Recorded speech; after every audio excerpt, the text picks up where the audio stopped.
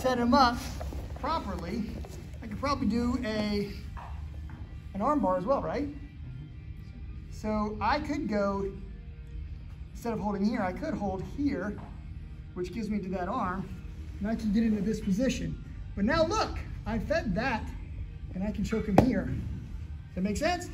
So we can use the leg assist, right?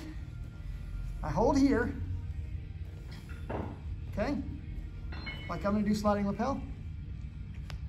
Also, like I'm gonna do armbar. This one stays here. He's not worried about it. He feels me going for the armbar. He might even make armbar defense. That's fine. This is tight enough. I pull here. I can double hand it if I need to, and I pull.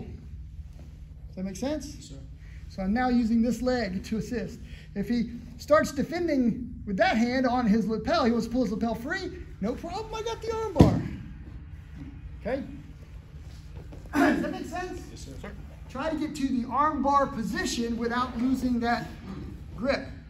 Then when you get like you're going to go for the armbar, this other hand grabs and assists, pulls on the one side only. You pin his shoulder so he can't roll, make the choke. If I'm in the right position, I'm ultimately going to have both hands on this lapel this way, pulling here. I'm pulling his lapel across his neck, okay? So I start here. I'm gonna grab this. This is gonna be my feeding hand. It's not my choking hand, my feeding hand.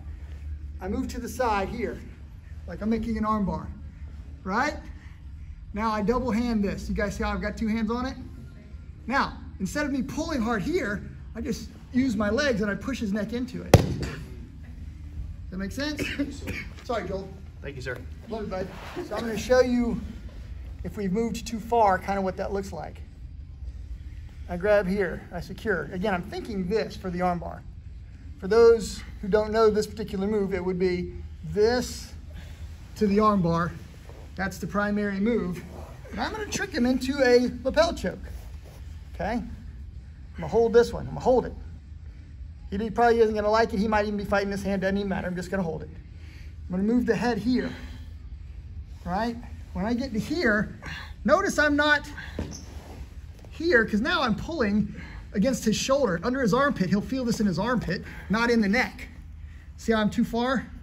You see how I'm, he's bound up here. You see how tight it is under his armpit? I don't wanna be there. I wanna be here so that I can pull into his neck this way, not that way, this way.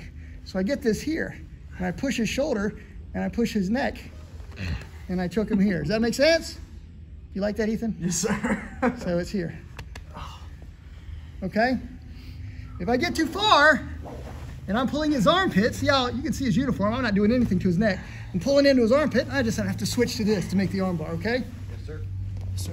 Because you've moved too far to the side, you need to be higher on the body, pulling this into the neck, not pulling it across the chest.